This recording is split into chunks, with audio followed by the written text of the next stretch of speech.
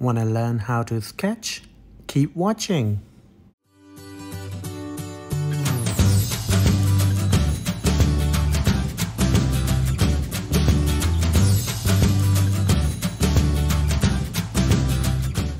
Hello everyone and welcome to Make with Ajay. And in this quick sketching tutorial, I'm going to be showing you how I made this really beautiful looking strawberry. First, let's start with the materials that I used. First and foremost, this is a mechanical pencil of 0.5 mm lead. You can use either 2B or HB lead along with it. It's really useful for those very fine details. Along with that, I'll also be using these graphite pencils in 2B and 6B for lighter and darker shade. I'll also be using these paper stumps. They are really good for those smooth blending. I'll also use this normal Staedtler eraser and some dry paint brushes again for blending. And a very special tool that I'll be using is the Tombow Mono Zero Eraser. It's nothing but just like a mechanical pencil, but instead of lead, it has this really fine eraser that you can use to create those really fine white details. So let's begin with our sketching. I'll first be using my mechanical pencil in HB 0.5mm lead to draw a rough shape of the strawberry. You don't have to be exactly similar to what I'm drawing over here because in nature there's no exact shape. Just don't be too rigid with the shape and keep your drawing really light at this stage. Also, I'm using a normal sketching paper to draw this on. In the next step, I'll be using this 2B pencil to fill in the shape of the strawberry so that I may create a base shade.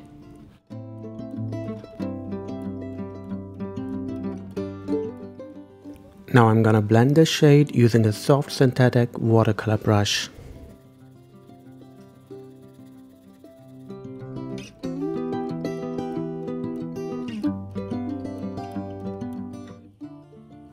Okay, now I'll grab my 6B graphite pencil and add some darker shades on all three sides of the strawberry.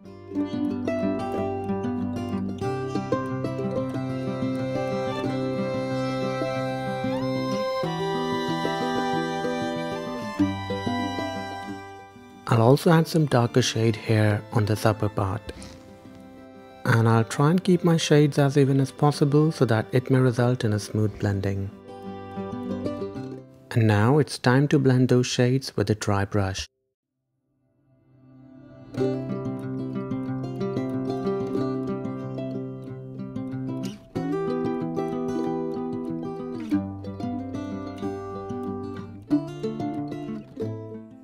And now I'll use the 0.5mm mechanical pencil to remove the textures in the shade.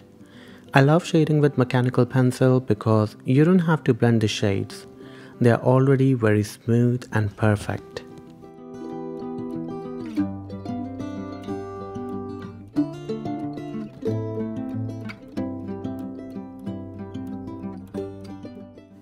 And then I'll use the same mechanical pencil to add these small circles in the middle portion of the strawberry.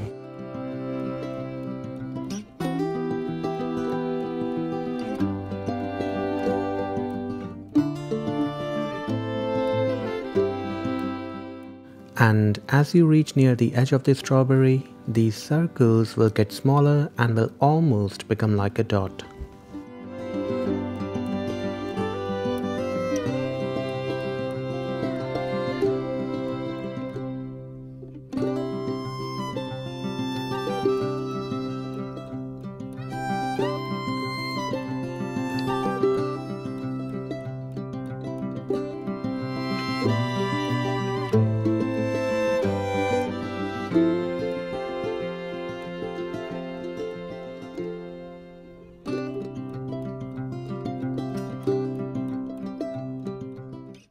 And now I'll use this darker shade 6B pencil to darken these circles and dots.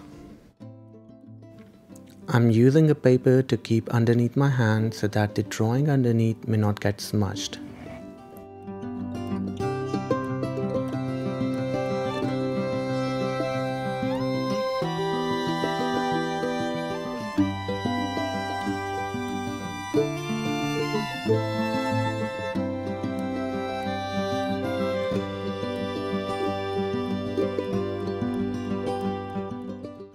And now I'll grab the lighter shade 2B pencil and add some shades around each circle.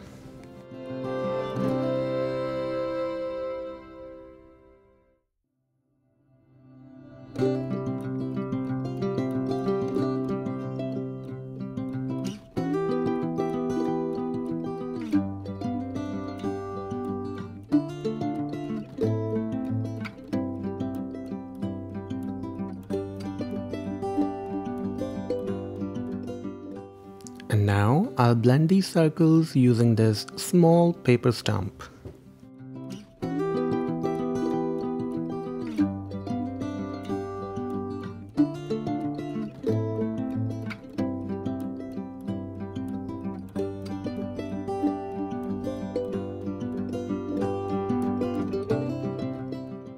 And now I'll grab the Tombow Mono Zero eraser to add some highlights between the circles and the dots.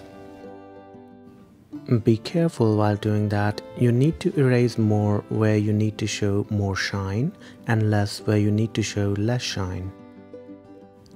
In the central area, you have to make the highlights more prominent than the corners or sides. In order to do that, I'm creating highlights all around the circles and when it comes to the dot, I'm creating the highlights only towards the side. And then I just used a dry brush to blend everything in the corners and I kept coming back with the eraser to make the highlights look as realistic as possible. And then I used the same eraser to add some highlights in these individual seeds as well.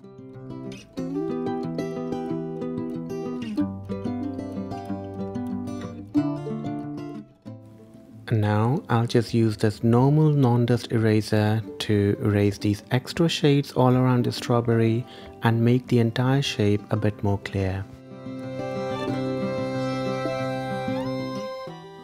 And now it's time to give some shadows, for which I'll be using the 2B and the 6B pencil in combination with each other. I'll first blend with the 2B pencil and then I'll darker that area with the 6B pencil. I'll be using the same technique underneath the strawberry to create a shadow. I'll use first the 2B pencil to create a lighter shade and then 6B pencil to create a darker shade and then I'll blend both of them together with a dry brush.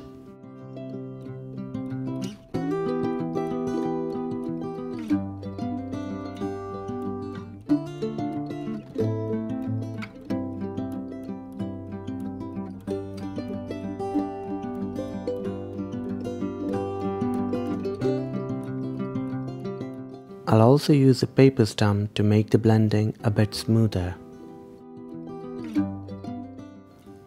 Moving on to the leaves, first I'll have to fill the leaves with shades using 2B and 6B pencil and then I'll blend them together using my paper stump. As a general rule, just keep in mind that the shades near the strawberry will be a bit darker than all the other shades because they also come under the shadow.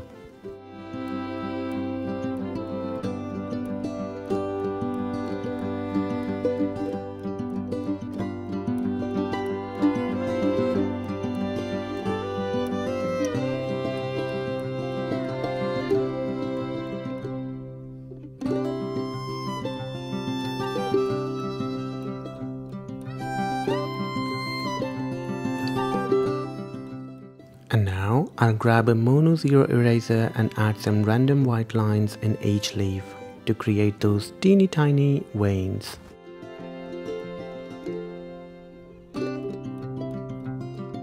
After erasing the lines, I kept coming back with my pencil and the brush for blending to make the leaves look perfect. I also defined the shape of the leaves better by erasing the shades around them.